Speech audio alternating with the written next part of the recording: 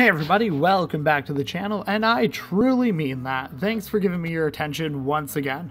So, I want to jump back into memes and the history of memes and what they mean. So, the topic of this video is No Nut November. And, well, if you've been on Reddit or Twitter at least once during the month of November, then you've probably heard about this challenge. Now, a lot of people know what the challenge is because it's basically in the name. However, I want to look into the reasons for it and the history of this living meme. Now, after some crazy internet research while on break on my overnight shift, I have located the origins of this challenge. No Nut November started from a post back in 2011 on Urban Dictionary. The Urban Dictionary user BitBoy6969696969 made a post in 2011 outlining No Nut November, stating that the challenge requires individuals not to masturbate for the month of November. I did try to find the original post, however, I failed because I assume it's been lost to the sea that is the internet. Now, it did take a few years for the challenge to gain some popular popularity online. However, the vi viral tweet by I Hate Thoughts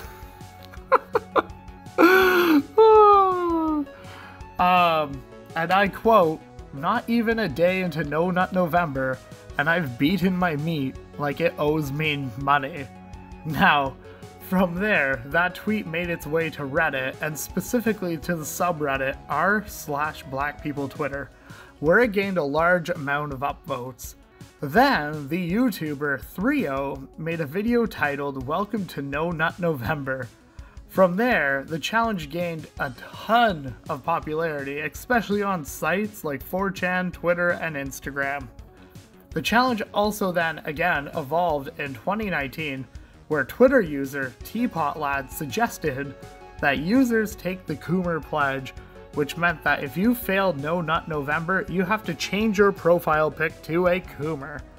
Now, as you can probably guess, the challenge was popular enough to reach a ton of different social media platforms and also spark uh, like some mainstream news. but like all good things from the internet, some people take it way too far. Debates started to occur about if No Nut November was actually healthy for you. At some point, a doctor going by David Handelman, Handelsman, my bad, he's Australian, so his name's weird, from the University of Sydney looked into the meme and broke the news to the world that taking part in No Nut November offered no extra health benefits. He did, however, use the meme to raise some awareness for prostate cancer. Now, some individuals like very much disagreed with his claims and they stated that the benefits from NNN, which is short for No Nut November, are the following increased energy levels, improved self confidence, boosts mental clarity, increases testosterone, and increases physical output in the gym. Now, uh, you can take or leave that however you want, but there's no scientific evidence about that. So, personally, I'll go with the opinion of the doctor. But if you are interested in taking part of this challenge, which anyone can, don't worry, you can do it as well if you're a girl.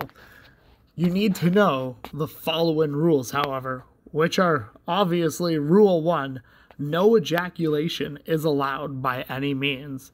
Rule two pornography is allowed.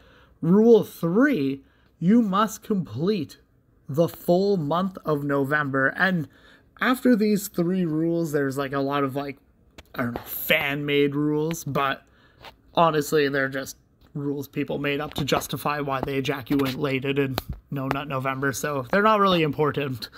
However, if you've succeeded in No Nut November and have proven your honor and resilience during the month of November, then you are entitled to take part in Destroy Dick December, which means you're supposed to excessively masturbate during the month of December. Now, like I said before, you can take part in this challenge if you're a girl. All right, we're all feminists here. Well, now here you go. You know the meme and the joke, and you can go tell your family, co-workers, or even take part in the challenge yourself. As for me, I have already lost the challenge, so I guess I'm a coomer. Thanks for watching. If you like that video, hit the button, you know, the big blue thumb one. And if you want to see more, subscribe to the channel and let me know if you take part in No Nut November down in the comments below. Actually, you know what? Don't tell me, because honestly, I really don't want to know what you do with yourself. Peace.